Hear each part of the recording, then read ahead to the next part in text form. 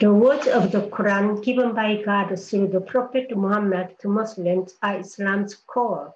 His will was accomplished by the invention of calligraphy, becoming a direct indirect driving force of Muslims' strong identity.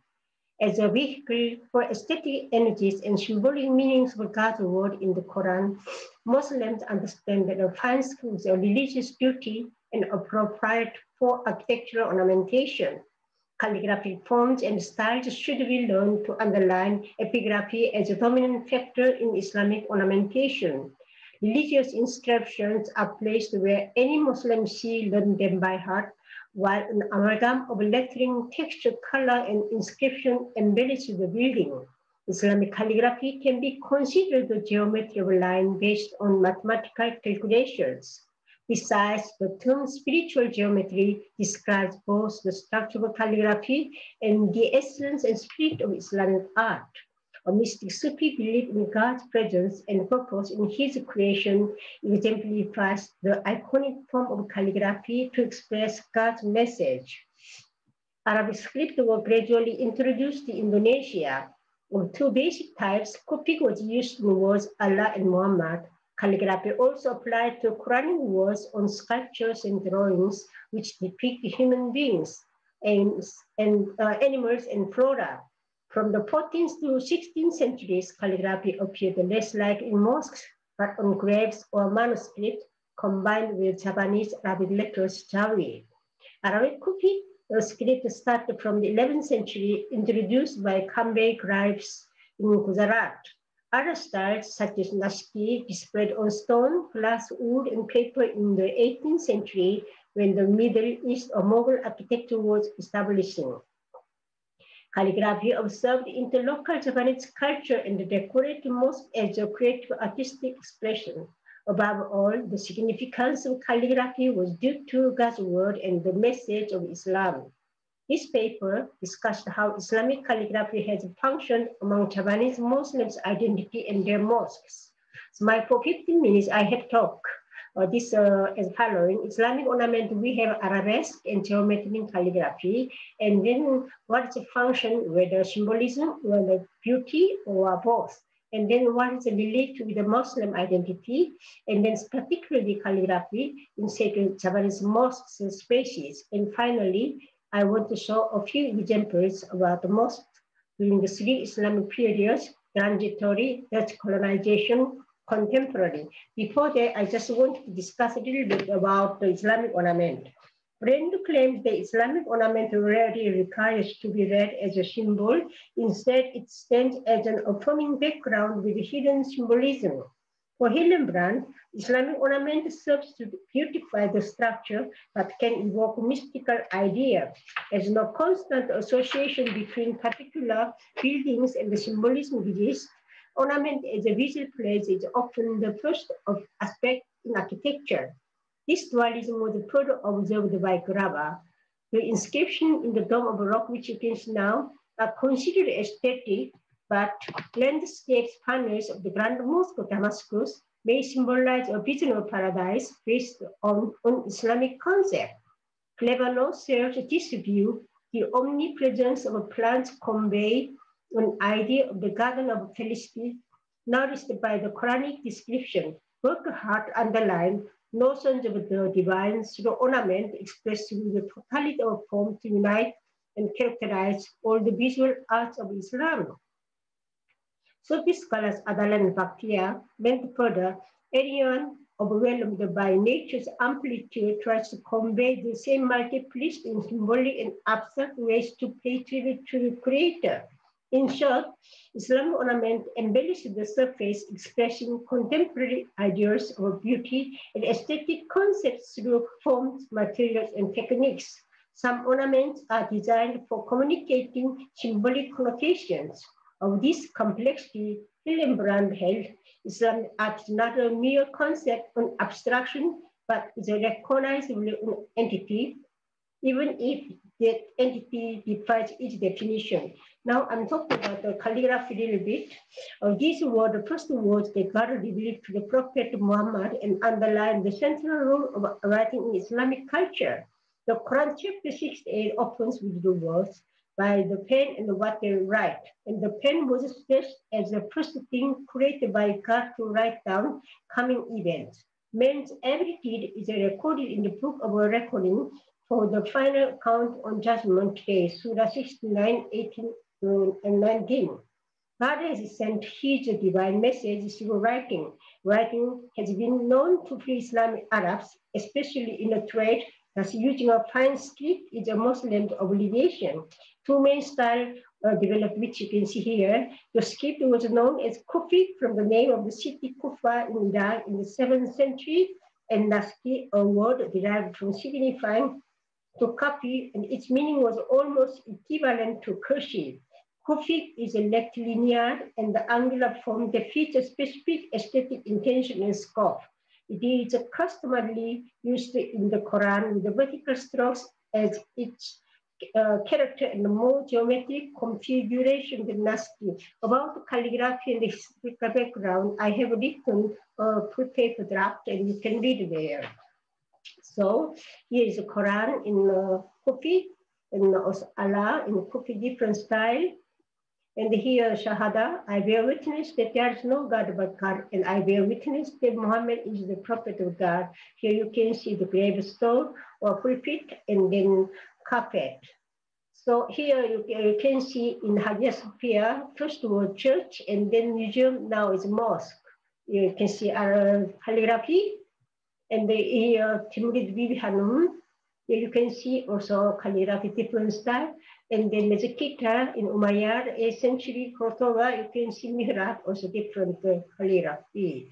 And then uh, uh, Minaret al Mosque in Isfahan, here calligraphy. Uh, and then the right Minaret of Jam in Afghanistan, here to show, to proclaim Islam, but same time to beautify and then give a message.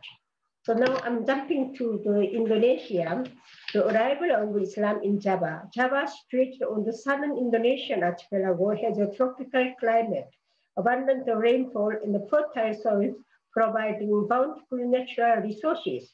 The Hindu-Buddhist culture had influenced Java until Islam became the dominant religion in the 16th century. Of Islam's arrival, two developments probably occurred in various areas at different times. First, indigenous Indonesians who came into contact with Islam converted of their own volition. Second, Muslim traders such as Arabs, Persians, Indians, and Chinese settled down, bringing their religion with them and associated practices. It is more likely, most likely that Islam's primary influence was spread across archipelago via trade routes and its principal introduction into Java was around 1450 from Gujarat in northern India. When see Demak, the first mo mosque is almost same time. So here, uh, the uh, as a literary social Islamic ornament in Java were hard to find interviews with the Indonesian scholars of held. Archaeologists such as Chandra Sasmita Ambary and Sudiawati related Islamic art and architecture were brought by traders and ulamas, religious teachers, not by cultural people around the 12th century. As the foreign missionaries did not possess skills in making Islamic ornaments, they focused on explaining the principles of the religion to local people. The poor execution of a calligraphy on the earlier stones is probably an example of the limited skills that transferred. This tradition spread further in local genius created new motifs after modifying existing ones with an Islamic context. Therefore, the first syncretic ornaments were named local Islamic or Malay Islamic ornaments. Arabesque and geometry were somehow absorbed into similar pre-Islamic motifs while Islamic calligraphy kept its position. It was combined with the Malay language in Java, inventing a local script Jawi. According to architect Farani, around the 18th century, during Dutch colonization, Javanese Muslims were more able to make journey to Mecca as a pilgrim and learn about Orthodox Islamic ornament. They brought them home and adapted them to local ornamentation and cultural context. It was the second syncretism. After Indonesia's independence in 1945, any Javanese Muslim could travel everywhere and learn pan-Islamic ornament, repeating the same process to invent the pseudo-syncretism. In short, each period had its Malay Islamic ornament. The assimilation of Islamic ornaments into the local culture was caused by the flexibility and tolerance of Islam and Javanese people.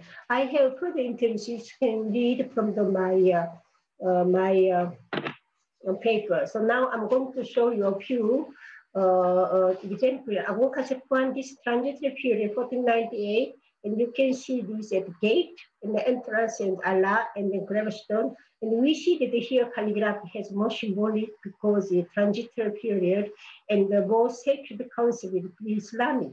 However, next when you go to Mangmur Abang, I, uh, this you can see on the top is uh, calligraphy can be a message.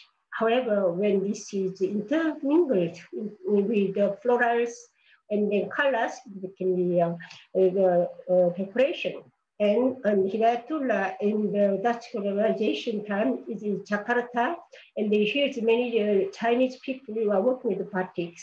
And here you can see on the roof this Allah in neon and however to the uh, right you can see Mustaka, this is a pre, pre-Islamic Hindu Buddhist, and uh, still uh, uh, it's very interesting how Javanese Islam is syncretic uh, still that time.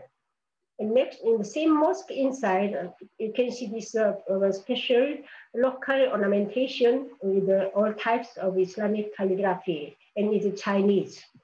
And here is a Kampung number 1880 is a Palestine missionary made uh, this mosque a few days, and it is it's, uh, very much local people, is very much discussion. However, here you can see all types of clumsy Islamic ornaments. And the uh, Sotomayor in 1922, it was Dutch office, but now it's mosque. Here, all types of uh, Islamic ornaments, uh, particularly calligraphy in different types are on the wall. And here, Raj Baganti 1933, this is the Bandu in entrance. We can say this is uh, uh, maybe message, but it can be more decorative. But although we have Allah and Muhammad, uh, saw that particularly green color, where green color is a vision of paradise in the Islamic color, so there can be also different meaning too.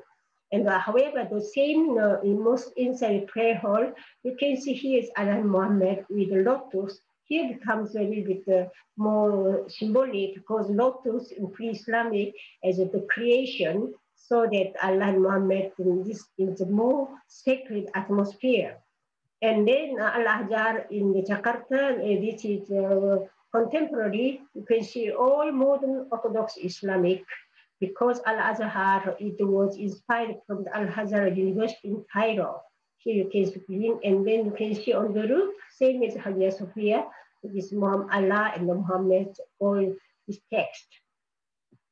And uh, this uh, Sunda Kelapa, uh, this Jakarta entrance, you can see the vine scroll, you know, kind of uh, arabesque kind of scroll, plus uh, this uh, look like geometry can be also Kufic, uh, Kufic calligraphy, and uh, one feels the go to the vision of paradise. And inside the Kelapa same, you can see very stylized lotus on the column and over there arch Islamic calligraphy. And then his uh, Al Uqba Balai Kota in Bandung on the roof is modern. You can see all also decorative uh, calligraphy. And finally, Fustai Java 2000 built this, you can see enormous big mihrab minbar. However, there's a stained glass, modern glass there, Allah, uh, although Allah, but it can be, of course, we know this is symbolic, however, also using as decorative as well. So finally, uh, scholar, this calligraphy was uh, appeared in the medieval time, 11th century Romanesque uh, Cloître Moissac in France. Here you can see on the top, this is a uh, Kufic, however, pseudo Kufic, and at that time was, was crusade, so there's some historical meaning, uh, meaning behind. So I'm just talking the last uh, uh, uh, last conclusion. Conclusion: Islamic ornament is designed to provide a visual place to Muslim eyes and to represent the gods existing in their minds. Its character is abstract and geometrical. From a Malay perspective, ornament provides delight and purity. Their difference is the level of religious values inherent in the artifact. Despite the regulations in the Hadith, the sayings of Muhammad, Islam allowed artistic freedom because ornament could encourage artists to adjust the integration of Islam into the existing culture. Javanese Islamic ornament became a continuation of the indigenous one, except the new import of calligraphy. Accordingly, it tends to achieve two functions, symbolic Islam and aesthetic Islam. Calligraphy has accompanied the whole history of Islam in its way. Java is no exception. Islamic calligraphy has contributed to the Javanese religious architecture to keep Javanese Muslim identity, while it has gratified Javanese Muslims' eyes through its beauty.